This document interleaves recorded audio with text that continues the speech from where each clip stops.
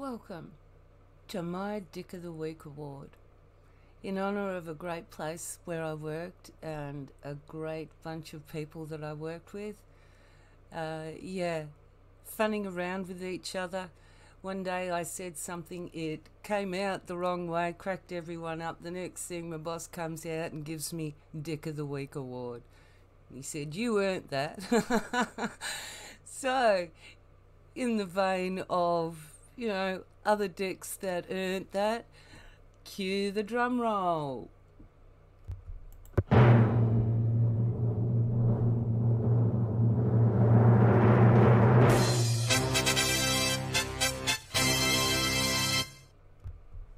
The Dick of the Week award goes to someone I can't even pronounce their name. but that's all right. Not much of what he says is legible either. So, our Dick of the Week award, I'm going to present him uh, this award because this coward can't even leave his comments for others. He's just got to have a quiet dig. So, yes, for the things you say, for the dick you make of yourself, let's look at his four comments. Nah, it is called spineless gutter sniping from a nong who has no information and who's talking through her obviously ignorant ass. Laugh my ass off. Ass. Wow, got me. Next one. I also wonder if this woman, like the woman she is trying to protect, G.I. Linda Norman, is a friend of well known pedophiles Jimmy Savile and Jeffrey Epstein. The people this don't know what the rest of the comment was because he deleted it and yeah, someone coming into my room then. He deleted it and uh, then turned around. Uh, doesn't realise that I can't read the rest of the comment. But, you know, they're not the sharpest tools in the shed. And the reference is clearly indicating that, um, well, you know, Max has got people that he gets to to do what he does on behalf. You know, he's oh, I don't do it, other people do it. Yeah, but you can tell that it's motivated from Max.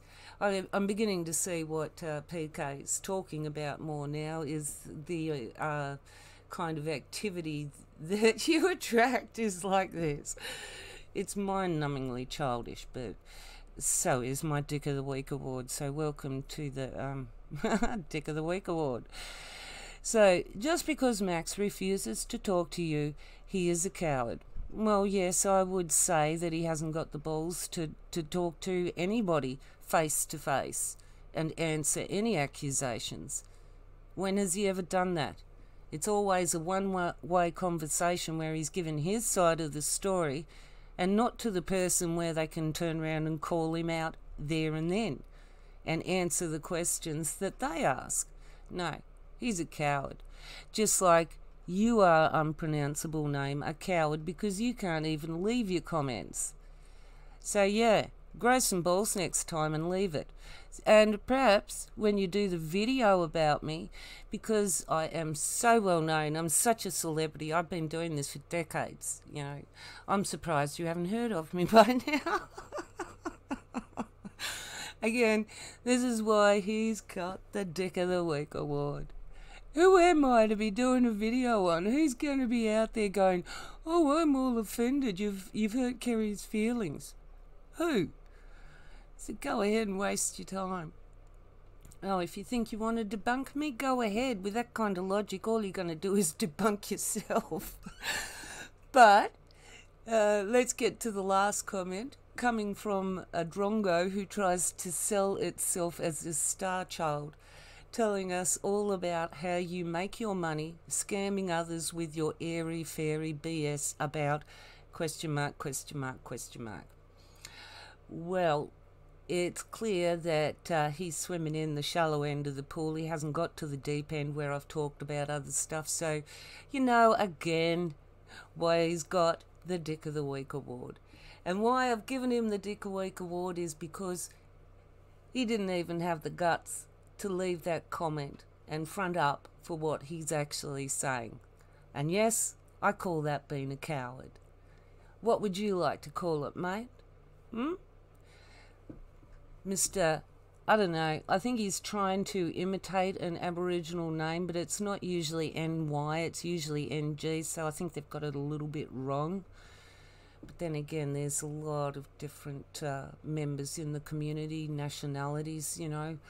Linguistics probably isn't one of their strong suits. They probably haven't studied it for years like I have linguistics and language and stuff like that. So there we go. My Dick of the Week award. Have a laugh, and I'll talk to you next time. Take it easy. Bye.